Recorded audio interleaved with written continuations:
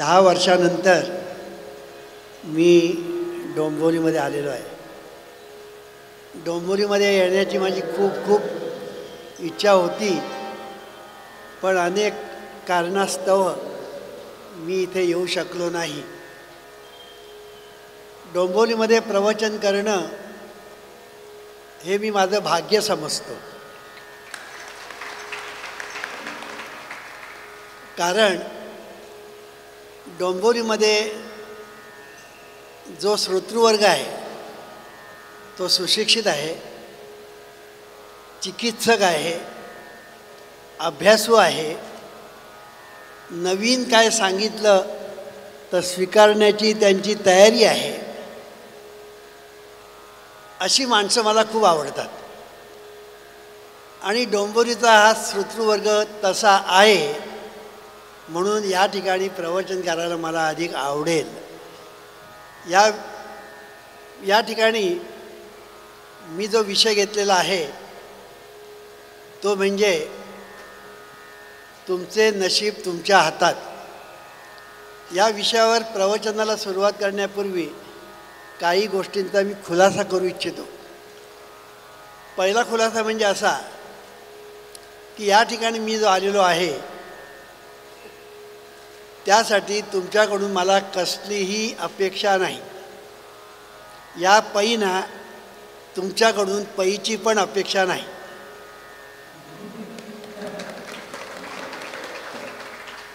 दुसरी महत्त्वाची गोष्ट म्हणजे अशी की या ठिकाणी मी जे तत्त्वज्ञान सांगणार आहे ते आगळं आणि वेगळं आहे. आणि म्हणून ते ऐकत असताना तुम्ही जर कोऱ्या पाठीने ऐकलं तर तुम्हाला त्याचा लाभ आणि फायदा खूपच होईल. पण कोऱ्या पाटीने ऐका. तुमची जर पाटी गिरमिटलेली असेल तर तुम्हाला मी अशी विनंती करीन की एक तासापुरतं तुम्ही तुमचे तुम्ही जे काही आतापर्यंत ऐकलेलं आहे वगैरे ते थोडा वेळ बाजूला ठेवा. आणि मोकळेपणाने प्रवचन ऐकावं. तिसरी महत्त्वाची गोष्ट म्हणजे अशी की हे जे तत्त्वज्ञान मी सांगतो ते तत्त्वज्ञान निर्माण कसं झालं? ऋषीमुनींचं तत्त्वज्ञान संतांची शिकवण जीवनात आम्हाला आलेले अनुभव आम्ही केलेलं खोल चिंतन आणि सद्गुरुकृपा यांच्या मिलनातून ही जीवनविद्या निर्माण झालेली आहे. आणि ती सर्वांना उपयुक्त ठरत आहे असा आम्हाला नित्य अनुभव येतो आहे जीवनविद्येची व्याख्या जर तुम्ही ऐकलीत तर तुमच्या ध्यानात येईल की जीवनविद्येचं आगळं वेगळेपण वास्तववादाच्या अधिष्ठानावर प्रयत्नवादाची कास धरीत विकासवादाकडे झेप घेणं म्हणजे जीवनविद्या. म्हणजे इथे वास्तववाद हा महत्त्वाचा शब्द आहे. प्रयत्नवाद हा दुसरा महत्त्वाचा शब्द आहे. आणि तिसरा विकासवाद हा महत्त्वाचा शब्द आहे. आणखीन एक महत्त्वाचं सांगायचं म्हणजे हे जीवनविद्येचं तत्त्वज्ञान म्हणजे it is an excellent combination of psychology parapsychology and metaphysics मानसशास्त्र परामानसशास्त्र आणि अध्यात्मशास्त्र या तीन शास्त्रांचा सुरेख संगम या जीवनविद्येच्या तत्त्वज्ञानामध्ये झालेला आहे. म्हणून जीवनविद्येचं तत्त्वज्ञान हे अत्यंत लॉजिकल आहे अत्यंत रॅडिकल आहे अत्यंत प्रॅक्टिकल आहे अत्यंत उपयुक्त आहे अत्यंत बुद्धिनिष्ठ आहे अत्यंत अनुभवसिद्ध आहे. असं हे तत्त्वज्ञान केवळ या तीन शास्त्रांचा सुरेख संगम झालेला आहे म्हणून हे शास्त्र त्या प्रकारचं निर्माण झालं आहे आणि एक महत्त्वाचं सांगायचं राहिलं ते म्हणजे I am eighty four years young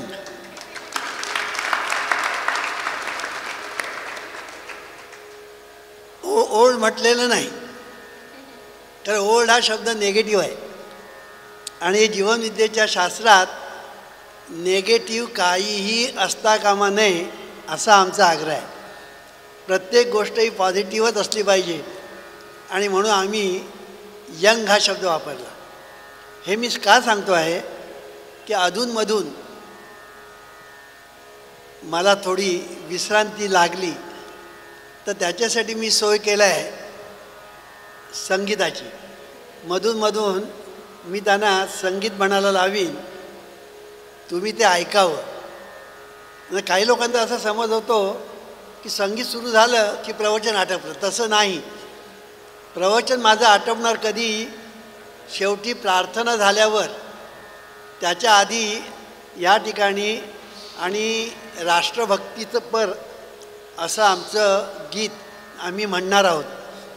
आणि त्याच्यानंतर पाच वेळा आम्ही प्रार्थना म्हणणार आहोत विश्वप्रार्थना ती झाल्यानंतर आपण सर्वांनी जायचं आहे प्रार्थना म्हणजे प्रसाद आहे. आणि हा प्रसाद घेतल्याशिवाय कोणी जाऊ नये अशी माझी नम्र विनंती आहे. आता विषयाला सुरुवात करतो. तुमचं नशीब तुमच्या हातात. हा विषय अत्यंत महत्त्वाचा आहे हे तुम्हाला निराळ सांगायला नको. आतापर्यंत आपण जे ऐकत आलो त्याच्या अगदी विरुद्ध असा हा सिद्धांत माझा आहे.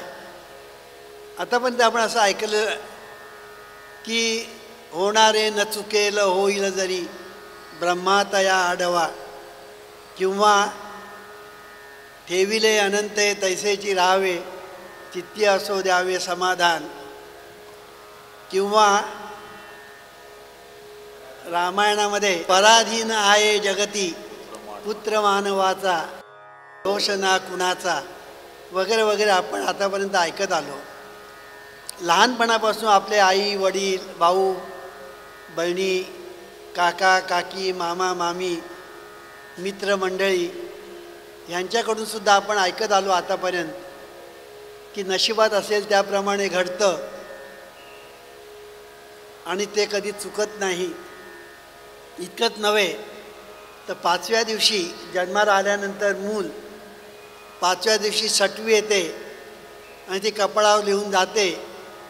आणि ते त्याप्रमाणे मरेपर्यंत सगळं घडत जातं. तुमच्या हातात काहीही नाही. करता करविता परमेश्वर. तुमच्या हातात काहीही नाही. तुम्ही म्हणजे बावल्या आहात. आणि बावल्या खेळविणारा तो जसा की दोरी हलवली की बावल्या नाचतात तसं कुठून तरी नियती म्हणा किंवा कोणतरी म्हणा अज्ञात शक्ती ती कुठून तरी दोरी हलवते आणि तुम्ही हलता नाचता अशा तऱ्हेचं सांगितलं जातं. जीवनविद्येला यातलं काहीही मान्य नाही. जीवनविद्येला यातलं काहीही मान्य नाही. जीवनविद्येने सिद्धांतच वेगवेगळे मांडलेले आहेत. जीवनविद्येचे सिद्धांत तुम्ही ऐकलेत की तुम्हाला आश्चर्य वाटेल. असे एक एक सिद्धांत आहेत. आणि एक एक सिद्धांतावर बोलायचं झालं तर मला अनेक दिवस प्रवचन करावे लागतील असे अनेक सिद्धांत आहेत. उदाहरण सांगतो.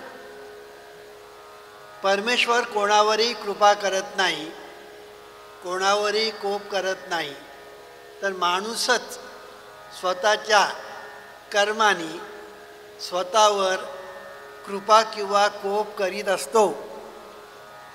आता हा सिद्धांत तुम्ही जर ऐकलात तर आतापर्यंत जे सांगितलं गेलं सगळ्या धर्मांनी नुसता हिंदू धर्म नव्हे सगळ्या धर्मांनी जे सांगितलं आतापर्यंत त्या सर्वाला छेद देणारा हा सिद्धांत आहे.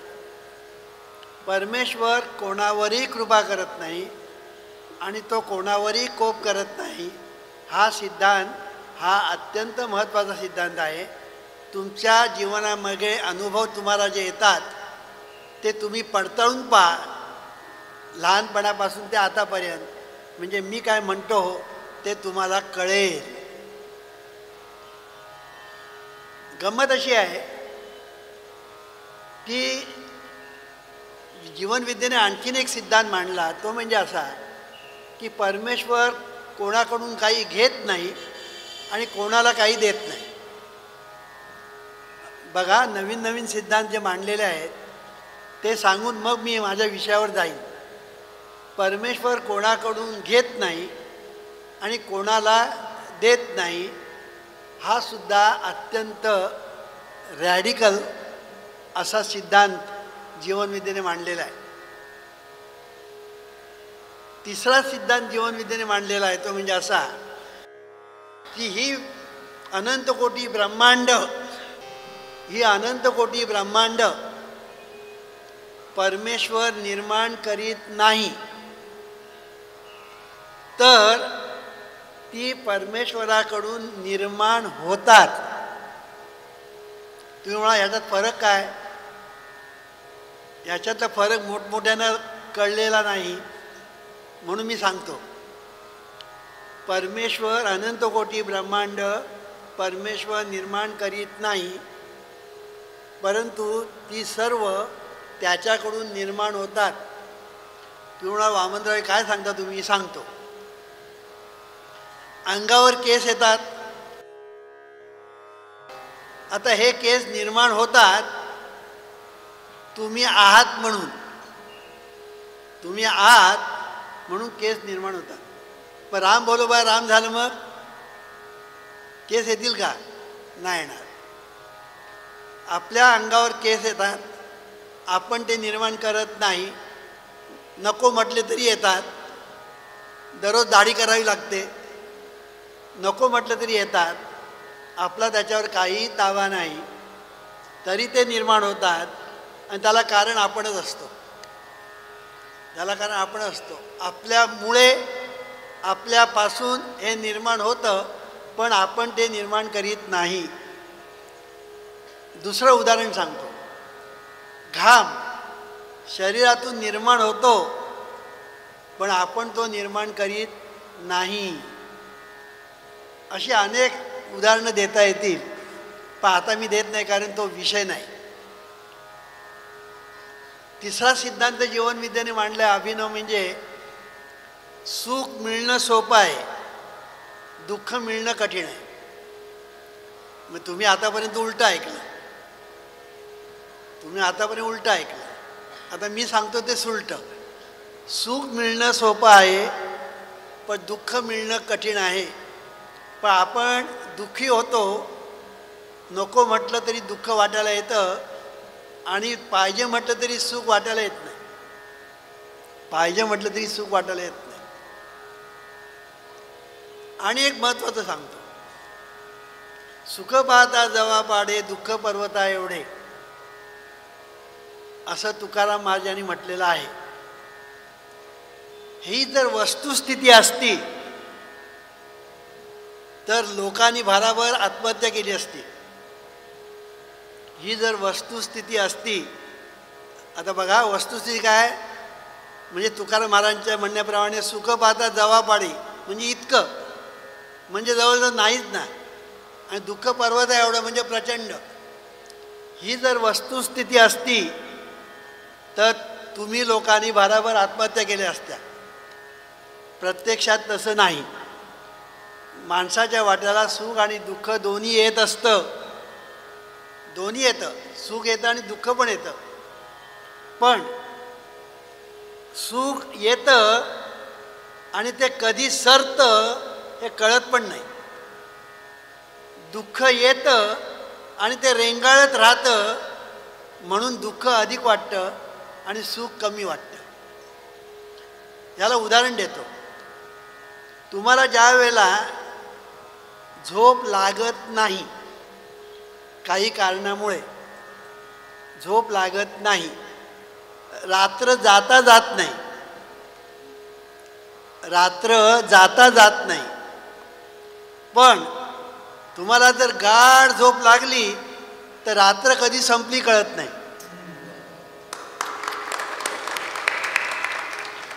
तसं सुखाचं आणि दुःखाचं आहे. हे मी काय सांगतो आहे? हे जे आम्ही जे नवीन नवीन सिद्धांत मांडलेले आहेत हे आपण नीट लक्षात घ्या. आणि आता माझा जो विषय आहे आणखीन पुष्कळ आहेत. नवीन नवीन सिद्धांत पुष्कळ आहेत. पण ते मी आता सांगत नाही. त्याच्यासाठी क्रांतिकारक जीवनविद्या दृष्टिक्षेपात हे पुस्तक वाचा. म्हणजे जीवनविद्या नवीन काय सांगतं ते तुम्हाला ॲट ए ग्लान्स कळेल. आता तुमचं नशीब तुमच्या हातात. हा सिद्धांत जीवनविद्येने मांडलेला आहे. हा सिद्धांत तुम्ही नीट लक्षपूर्वक जर ऐकलं तर तुमच्या ध्यानात येईल की मी सांगतो ते शंभर टक्के बरोबर आहे. हे तीन दिवस मी प्रवचन करणार आहे.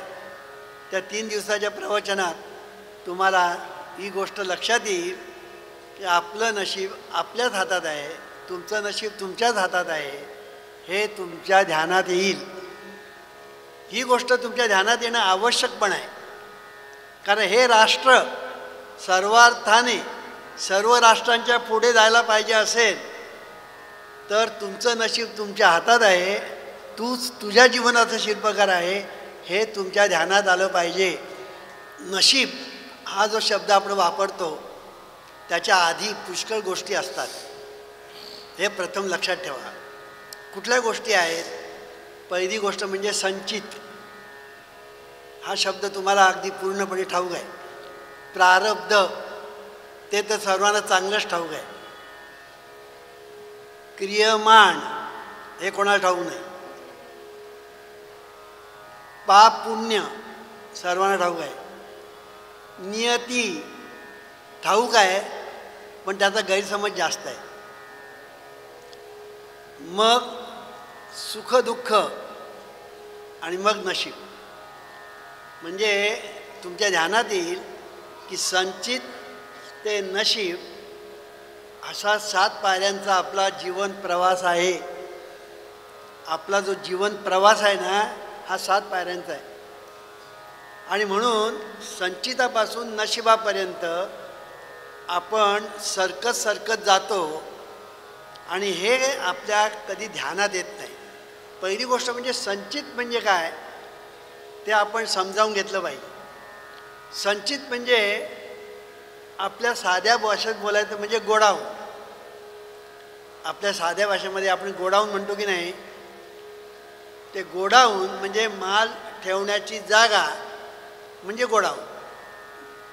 माल ठेवण्याची साठवण्याची जागा म्हणजे गोडाऊन. त्या गोडाऊनमध्ये आपण माल टाकतो. आणि माल जो टाकतो तो आपण पाहिजे तेव्हा त्यातला माल आपण उचलतो. गोडाऊनमध्ये माल निरा निम्या प्रकारचा पडलेला असतो. आपल्याला पाहिजे तो माल आपण पाहिजे तेव्हा उचलत असतो. हे नीट लक्षात घ्या. तसं संचित म्हणजे गोडाऊन आहे. पण या गोडाऊनमध्ये दोनच माल आहे. दोन प्रकारचा माल आहे. एक माल म्हणजे पाप आणि दुसरं म्हणजे पुण्य. पाप पुण्य याचा माल त्या गोडाऊनमध्ये पडलेला आहे संचिताच्या. आता इथे एक प्रश्न निर्माण होईल की पाप आणि पुण्य हे शब्द जेव्हा आम्ही वापरतो किंवा कोणी वापरतो तेव्हा आजच्या काळामध्ये लोक म्हणतील हा मागासलेला आहे. कसलं पाप आणि कसलं पुण्य घेऊन बसलाय वामनराव? तुम्ही कुठल्या जमान्यात आहात? आता एकच पाप आणि एकच पुण्य म्हणजे पैसा. सांगायचा मुद्दा की पाप आणि पुण्य ह्या ज्या दोन कॉन्सेप्ट आहेत त्या मला तुम्हाला सायंटिफिक पद्धतीने सांगायचे विज्ञाननिष्ठ पद्धतीने सांगायचे कुठल्याही प्रकारे मला त्या ठिकाणी अंधश्रद्धा आणायची नाही. पाप आणि पुण्य या शब्दांचे अर्थसुद्धा मला तुम्हाला विज्ञाननिष्ठ पद्धतीनेच सांगायचं आहे हे प्रथम लक्षात घ्या. पाप आणि पुण्य म्हटल्यानंतर आज आपल्या डोळ्यासमोर नेहमी ज्या गोष्टी येतात त्याचा खऱ्या पाप पुण्याशी काहीही संबंध नाही. हे पहिलं लक्षात घ्या.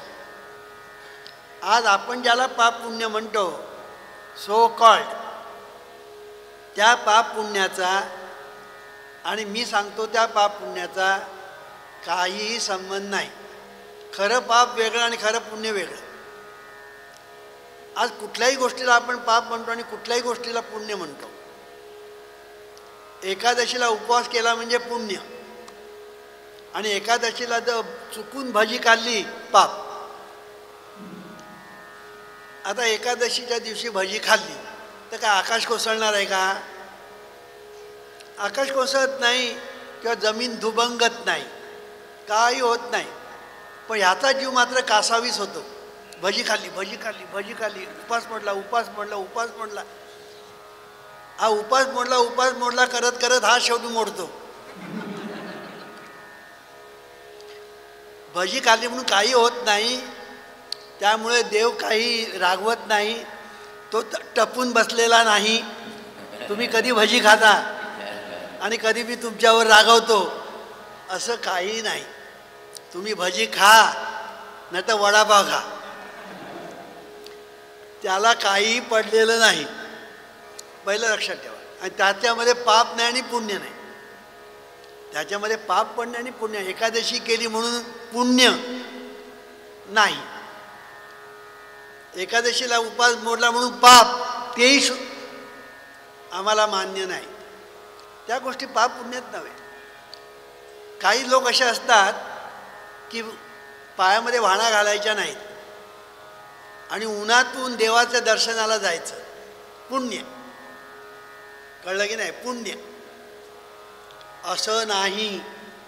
तुम्ही शरीराला जर ताप दिलात जीवनविद्या काय सांगते? शरीर साक्षात परमेश्वर. असं जीवनविद्या सांगते. जीवनविद्या असं सांगते शरीर साक्षात परमेश्वर. या परमेश्वराला ताप द्यायचा. का या परमेश्वराला तुम्ही काहीतरी चांगलं द्यायचं? हे कोणी ठरवायचं आहे तू ठरवायचं. कारण तूच आहेस. तुझ्या जीवनाचा शिल्पकार पण काही लोक असे आचरट मी त्यांना आचरट म्हणतो. हे आचरट लोक आहेत. ते पायामध्ये काही घालायचं नाही वाणा वगैरे. आणि तसेच उन्हातून आणि देवाच्या दर्शनाला गेलं मग त्यांना असं वाटतं आपण खूप पुण्य मिळवलं. कळलं की नाही? आमच्याकडे असे काही लोक आहेत की बोरोलीला राहणारे आणि सिद्धिविनायक कुठे? दादरला. बोरोलीहून चालत चालत जायचं. कुठे? सिद्धिविनायकाला. का? पुण्य मिळतं म्हणून. देवात गणपती प्रसन्न व्हावा म्हणून. आणि काही मोठमोठे नटसुद्धा नाव घेत नाही. ते जेव्हा जातात तर बाकीचे म्हणतात अरे एवढा मोठा नट जातो म्हणजे इथे काहीतरी असलं पाहिजे. मग मेंढरं कशी असतात? मेंढरं माहिती आहे ना? ते मेंढरं जे चरता चरता चरता एक मेंढळ त्यांनी दरीत उडी मारली. त्याच्याबरोबर बाकीच्या मेंढरांनी सुद्धा कसलाही विचार न करता भाराभर दऱ्यामध्ये उड्या मारल्या. लोक हे मेंढरासारखे असतात. आणि एखाद्या मोठ्या माणसाने जर काय केलं ना ती आत मग काय ह्या मेंढरांना काही विचारायलाच नको आवडतं आवडतं नाके नको. पण एक लक्षात ठेवायचं अशा भानगडीत पडू नका. बोरवली ते सिद्धिविनायक एवढ्यामध्ये जो वेळ जाईल ना त्या वेळेचा काहीतरी वाचनासाठी उपयोग करा. काहीतरी सत्कर्म करा काहीतरी चांगल्या गोष्टीसाठी त्याचा वापर करा. उगीच वेस्ट ऑफ टाईम एनर्जी आणि मनी करू नका. असं काही होत नाही. असं काही होत नाही. हे मी का सांगतो आहे? पाप पुण्याच्या कल्पना भरमसाठ आहेत भरमसाठ त्याची जर मी यादी करायची ठरवली ना तर मारुतीची शेपूट होईल. मारुतीचा शेपूट शम संपता संपत नाही. तशी मी जर यादी करायची ठरवली पाप पुण्याची तर काय बघायला नको एवढी ती यादी होईल. या पाप पुण्याच्या कल्पना जीवनविद्येच्या नाही हे पहिलं लक्षात ठेवा. आता पाप पुण्याबद्दल तुकाराम महाराज काय सांगतात? रामदास स्वामी काय सांगतात? जीवनविद्या काय सांगते? आणि जीवनविद्या अधिक काय सांगते? त्याचा आपण जरा विचार करू. मी पाप पुण्याचा विचार का करतो आहे? कारण ते गोडाऊनशी संबंध आहे. आणि पुढे सगळा त्याचा संबंध पुढे आहे. तर हा विषय जर तुम्ही जर नीट समजावून घेतलात तर तुम्हाला संपूर्ण संचित ते नशीब हे सगळं तुमच्याच हातात कसं आहे तुम्हाला कळेल. तुकाराम महाराज म्हणतात पाप ते परपिळा पुण्य ते परोपकार. तुकाराम महाराज. समर्थ रामदास स्वामी म्हणतात पुण्य ते ईश्वर स्मरण पाप ते विस्मरण. जीवनविद्या काय सांगते? कृतज्ञता हे पुण्य कृतज्ञता हे पाप.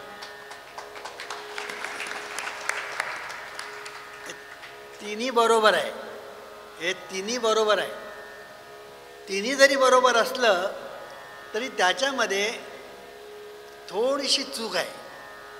चूक काय? आहे की आपण पाप ते परपिडा परपिडा म्हणजे पाप नाही. परपिडा याचा अर्थ असा की दुष्कर्म. परपिडा म्हणजे दुष्कर्म. ते पाप नाही ते दुष्कर्म. आणि हे दुष्कर्म त्याचा होणारा जो परिणाम जो पुढे होणार आहे पण अजून झालेला नाही त्याला पाप म्हणतात. तसं पुण्य. एखादं आपण सत्कर्म केलं म्हणजे परोपकार. परोपकार म्हणजे पुण्य नाही. तर परोपकार म्हणजे सत्कर्म. आणि ते सत्कर्म केल्यानंतर त्या सत्कर्माचं जे फळ ते मिळणार आहे पण मिळालेलं नाही त्याला पुण्य असं म्हणतात.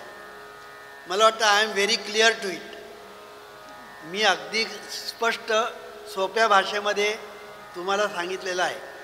म्हणजे पाप आणि पुण्य हे तुम्ही समजता तसं नाही तर दुर ज्याला आपण दुष्कर्म म्हणतो त्याच्यातून पाप निर्माण होतं. आणि ज्याला आपण सत्कर्म म्हणतो त्याच्यातून पुण्य निर्माण होतं. ईश्वरा सर्वांना चांगली बुद्धी दे आरोग्य दे. सर्वांना सुखात आनंदात ऐश्वर्यात ठेव सर्वांचं भलं कर कल्याण कर रक्षण कर. आणि तुझे